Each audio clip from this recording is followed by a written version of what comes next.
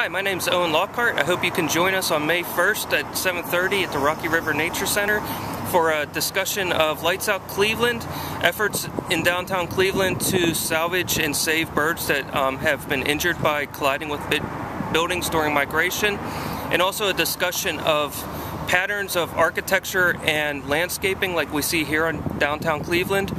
Um, this is a large problem. It's the second largest source of mortality for migrating birds, uh, and it's estimated that 600 million birds a year uh, die in North America due to building collisions. Um, we're going to talk about those patterns. We're going to talk about a study conducted right here on Cleveland State's campus, and we're also going to discuss different ways we can um, prevent this from happening in the future through etched glass, um, things you can do at your own home without replacing your windows, um, very affordable alternatives to keep your own home from contributing to the problem. So I hope you join us, and we look forward to seeing you.